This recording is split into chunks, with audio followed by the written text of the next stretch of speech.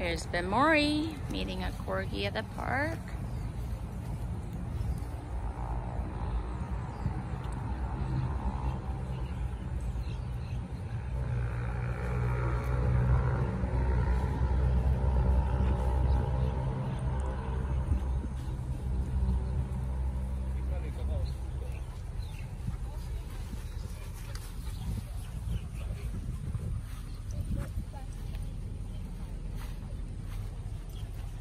This is her first trip to the dog park, doing very, very well.